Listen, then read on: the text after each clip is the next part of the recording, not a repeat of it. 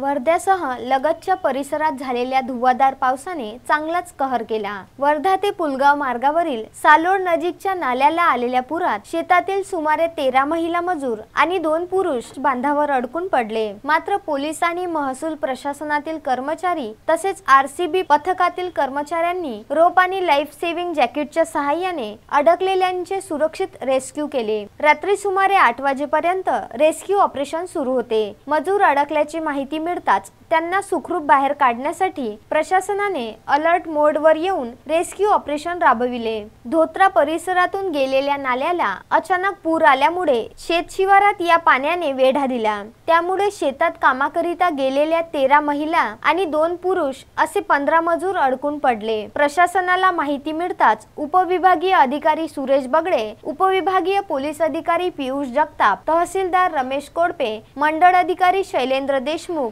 Police उपनिरीक्षक धानाजी जडक police उपनिरीक्षक मल्हारी ताडीकोटे वाहतूक पोलीस निरीक्षक रवींद्र रेवतकर यांच्यासह महसूल आणि पोलीस प्रशासनाचे कर्मचारी आणि लाईफ स्विमिंग गार्ड्स घटनास्थळी दाखल झाले. उपविभागीय अधिकारी सुरेश बगडे तहसीलदार कोडपे आणि उपविभागीय पोलीस अधिकारी जगताप यांनी स्वतः पुरात उतरून रेस्क्यू करणाऱ्या कर्मचाऱ्यांचे मनोधैर्य वाढविले. रात्री साडेआठ वाजेपर्यंत सर्वांना सुखरूप बाहेर काढण्यात यश आले. यातील एका महिलेचा पाय घसरल्याने ती घाबरल्याने तिची प्रकृती खालविल्याने सामान्य रुग्णालयात उपचारार्थ पाठविण्यात आले. दुपारच्या सुमारास झालेल्या मुसळधार पावसामुळे शेतातील महिला मजूर नाल्याला आलेल्या पुरात अडकून पडले होते. यावेळी परिसरातील नागरिकांनी बचावासाठी मोठी गर्दी केली होती. मात्र लगेच सावंगी पोलीस ठाण्याचे उपनिरीक्षक मल्हारी ताडीकोटे हे पोलीस कर्मचाऱ्यांसह घटनास्थळी दाखल झाले आणि वाहतूक सुरळीत केली. तर मग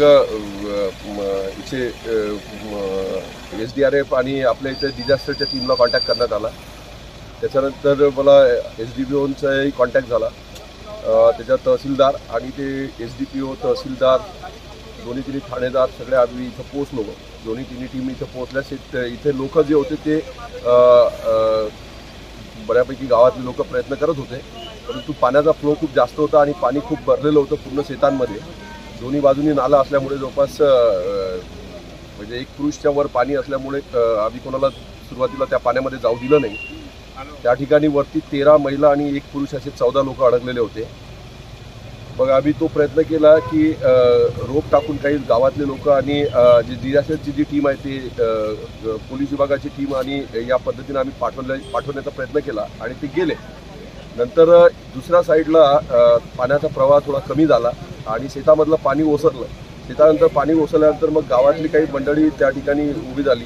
तिथं परत रोप टाकून मग सगळे पोलीस प्रशासन आणि महसूल प्रशासनाच्या आणि डिझास्टर मॅनेजमेंटच्या टीमच्या माध्यमातून या चौदा लोकांना सुरक्षित काढण्यात आला. हा जो आहे हा हे धोत्रा रेल्वे म्हणून एरिया येतो आणि हा सालोडचा नाला आहे. या ठिकाणी दोन्ही बाजूनी नाल्याच्या पाण्यामुळे ते मधात अडकून गेले होते. सुरुवातीला ही अ, अंदाजे बारा फुटापर्यंत होती आम्ही पोहणारे लोक पलीकडच्या बांधावर पाठवून मार्ग तयार करून घेतला आणि त्यानंतर थोडी थोडी पाण्याची पातळी कमी व्हायला लागली तिथं. तरी अखेरपर्यंत पाण्याची पातळी ही सहा फुटापर्यंतच होती तिथं. परंतु आमच्याबरोबर जे डिझास्टर मॅनेजमेंटची आमची जिल्हा पोलीस वर्धा जिल्हा पोलीसची टीम होती महसूलची टीम होती त्याच्याबरोबर आम्ही जे लाईफ जॅकेट्स आणि ट्यूब्स आणल्या होत्या त्या मदतीनं आम्हाला थोडंसं सोयीस्कर गेलं तिथं. परंतु पाण्याचा फ्लो हा सुरुवातीपासून शेवटपर्यंत हा जोरातच होता कारण डोंगराच्या भागामध्ये आणि अजूनही पाऊस चालू असल्यामुळे फ्लो तेवढाच आहे. पाण्याचा फ्लो जास्त होता आणि दोन नाल्यांच्या मध्ये असणाऱ्या शेतामध्ये त्या महिला आणि पुरुष अडकले होते. पाण्याची खोली आणि पाण्याचा अंदाज घेताना एक दीड तास गेला. त्यानंतर त्या महिलांपर्यंत कसं पोहोचता येईल यासाठी आम्ही एखादी टीम पाठवून त्या भागाची पाहणी केली. लोकलच्या शेतकऱ्यांच्या मदतीनं घेऊन जागेचा अंदाज घेतला. आणि त्यानंतर आम्ही रोप टाकून एक मार्ग तयार केला. तब्बल दोन अडीच तास त्या ठिकाणी काम करून त्या सर्व महिलांना आणि एक पुरुषाला सुखरूप आम्ही बाहेर काढले.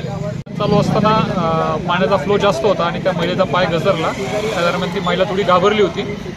तिला एस डी ओ बगळे साहेबांच्या मदतीनं आम्ही सरकारी दवाखान्यामध्ये रवाना केली अश्विन शाह विदर्भ न्यूज वर्धा.